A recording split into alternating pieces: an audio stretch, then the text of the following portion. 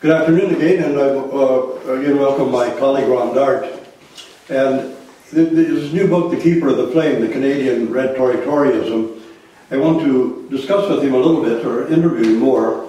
Uh, Ron Dart is one of the, probably the foremost philosopher of, of genuine Red Toryism in Canada, and uh, I, I, dare say a direct uh, philosophical descendant of some of our, our great leaders who were developers of the Red Tory tradition in Canada, including George Grant, who was perhaps the most famous of all Canadian philosophers.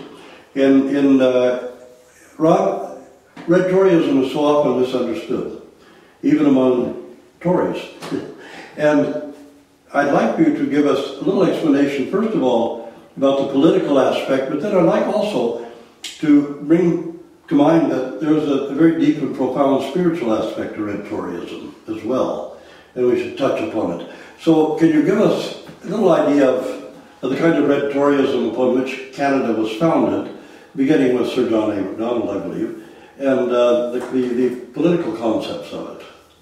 Well, in many ways, the when most people think or uh, hear the word Red Tory, it's the it's the uh, political language which emerged in the 1960s. Mm-hmm. Um, George Grant had written his, his probably one of the most important political works in Canada. It was published in 1965, uh, Lament for a Nation, mm-hmm. the defeat of Canadian nationalism, and it, it, came out of the 1963 election where Lester Pearson had lined up with, with Kennedy in the States to bring mm-hmm. down, actually so did Tommy Douglas, yeah. Uh, Grant actually had been on the phone all night um, before Douglas. He pleaded with Douglas not to vote with Pearson to bring down the Diefenbaker government because he knew that was essentially bringing uh, in American influence yeah. into Canada. And Tommy Douglas did vote with Pearson, brought down the Diefenbaker government, and then, um, of course, Pearson aligned himself with Kennedy. We we were expected to take uh, warheads for Bomarc missiles and all these. But uh, the new left in Canada, Gad Horowitz was a key figure in this. It, it confused him because his idea of conservatism was right wing, a lighter state, um, lighter politics, more power to the individual. Uh, and all of this sort of sort of thing. And here was someone, George Grant, who, who claimed to be conservative, but he was for a stronger state, uh, the role of higher taxes, a nationalization of industries, and this seemed to be leftist. Mm-hmm. And so uh, Gad Horowitz then um, used the language of red Tory. When most people think Tory, um, they think right wing. When most people hear the language of red, mm-hmm. they think left. And so it's an odd uh, bringing together of two traditions that transcends the tribalism of right, center, and left. But in fact, uh, Toryism or Red Toryism in Canada goes not only back, as you mentioned, to John A. Macdonald, but when you think of the early battles that took place in Canada of 1812 8, up to 1814, it was Anglican bishops that were at the forefront of trying to keep the, the Americans at bay and create a very different state and country in the northern part of the Americas that would have a greater sense of the common good, the common weal, the role of the state in bringing all that, all of that about. And of course, conservatism today now, of the Stephen Harper variety, is very much uh, what most people think of conservatism right of center, pro American, uh, free enterprise, lighter state, lighter taxes, and uh, when we think red Tory, which is in many ways foundational to the, to the origins and development of this country, it's increasingly marginalized. So this book, Keepers of the Flame, in one sense, it's an attempt to keep the flame alive of a very old tradition in Canada that goes back to Britain, goes back to France, which is part of the First Nations tradition. Mm-hmm. And so as that fire is dimming with the, with the dominance of a form of blue Toryism, or Republican conservatism in Canada. This book, uh, this book goes into various phases, history, ideas, philosophical, theological, uh, in which uh, in which that flame, even though faint, and sometimes people would argue failing, can still be kept aglow and alive. Yeah, yeah. One thing I like in, in so many of your writings is the way you bring back to people's attention long forgotten great Canadian people of letters. And uh, uh, that uh, Stephen Leacock, who had a profound influence in Canada, one of our great uh, theoreticians, I would say, and writers, uh, far too often forgotten or remembered as a humorist only. and not remembered for his in, deeper works.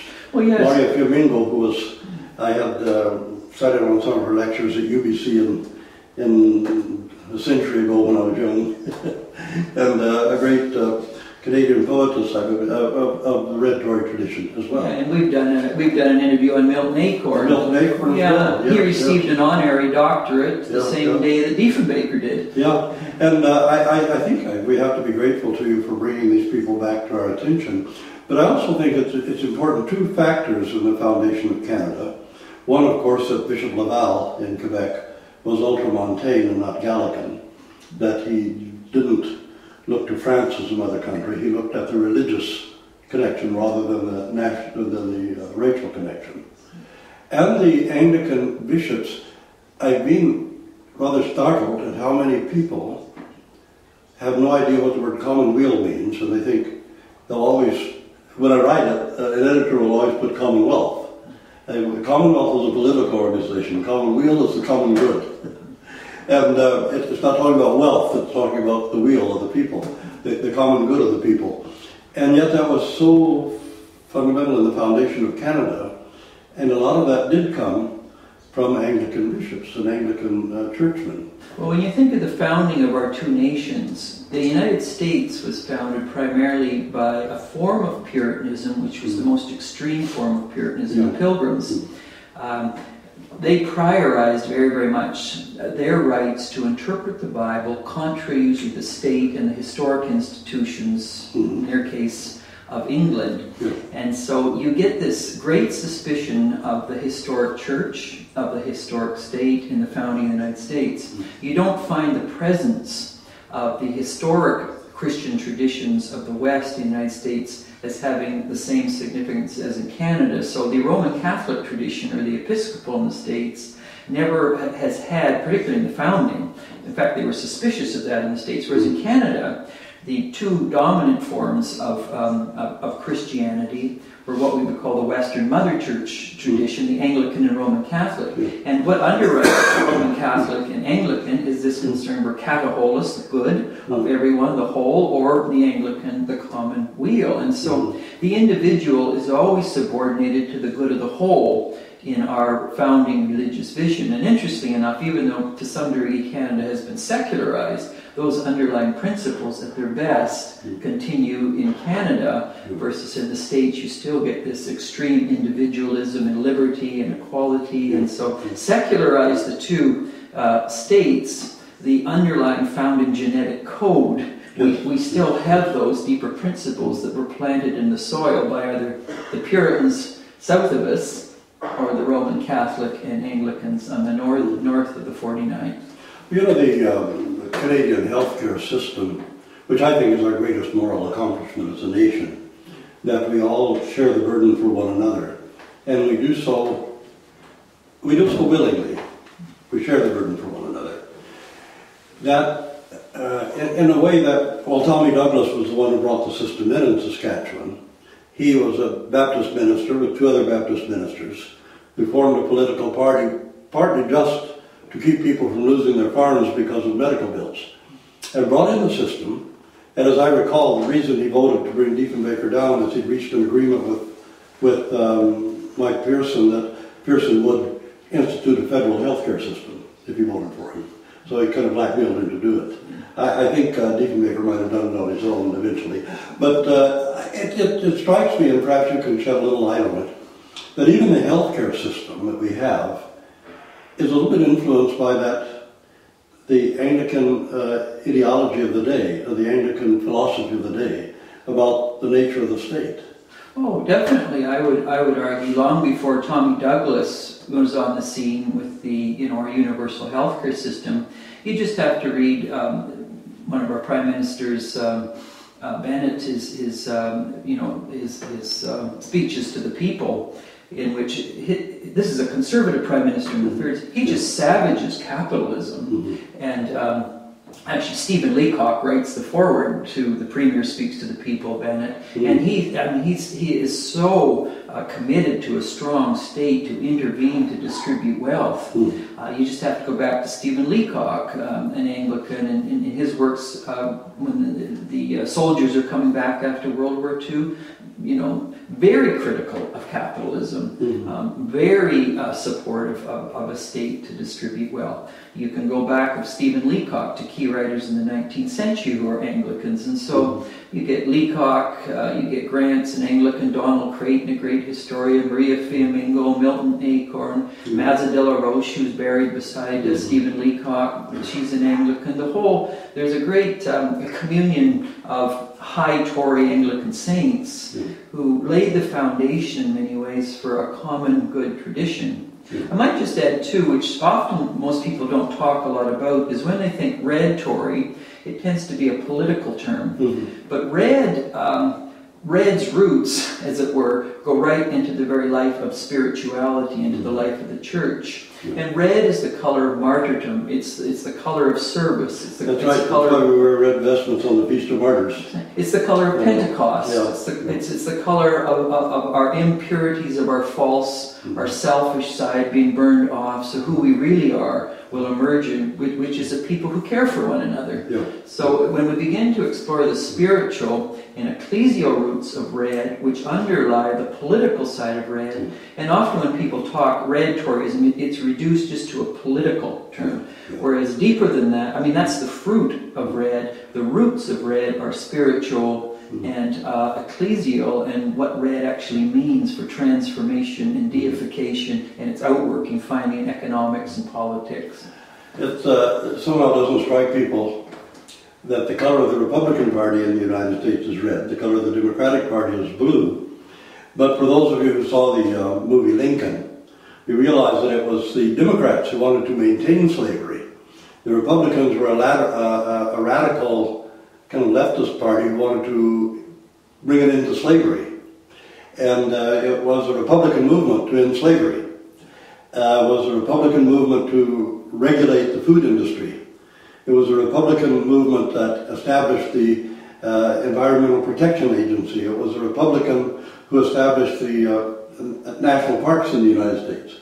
So there had been a, a, a radical switch in how those things were understood from the beginning. And uh, there was a reason, perhaps, why the Republican Party colors were red. And those reasons weren't, had nothing to do with left and right, they had to do with humanity. It was, the Republican Party was in part founded on the principle of abolishing slavery. And uh, it was, uh, you know, the uh, healthcare system that Mr. Obama brought in was inferior to the healthcare system that Richard Nixon wanted to bring in, that he proposed in his second term. Uh, his, um, Richard Nixon, the Republican president, much more far-reaching, much more dominating in his healthcare system, but also much more useful than it was. So, I was going to say also, the, uh, anyone who's seen the recent movie Les Miserables, uh, red is the color of those who have suffered and are being oppressed by the wealthy. Yeah. And the revolutionary color is the color of red, which is seeking justice. Yeah. And so when you when you when you see red, it's usually the color of those who are thinking of the common good of one and all. Yeah. And and so uh, red, both at a spiritual, red at an ecclesial, red at an economic, a political, and so red Tory is bringing together what is often seen on the right with the common good is what often is seen as the left, and it's how you marry those two. Well, you know, sometimes I see a comment by some of my critics down in America. They'll say, "Oh, well, he is a red Tory," you know. Just one artiste. But uh, I, I'd like to recommend this book very highly, Keepers of the Flame, and any book you can find by Ron. Uh, Keepers of the Flame will give a, an introduction to the spiritual foundations and spiritual roots of Canada, not simply the political roots and the um, political foundations, because the way you can't separate the two. The way Canada was founded by an evolutionary process rather than a revolutionary process. It was founded by an unfolding of peaceful actions uh, within the concept of peace, order, and good government. So this Keepers of the Flame, it's uh, available uh, in bookstores and likely you can find it by going to Google and find it on some of the uh, online outlets. And get it and read it if you're at all interested in the spiritual foundations and, uh, of Canadian culture and society, and even the foundations of our politics. Thank you so much for being with us, Ron. And next time, I think we'll discuss a couple of other things. Phillip Blond's um, Brother Corruption of the Red Tory Ideal. And uh, it was it was a pleasure to have you and a pleasure to see this book out.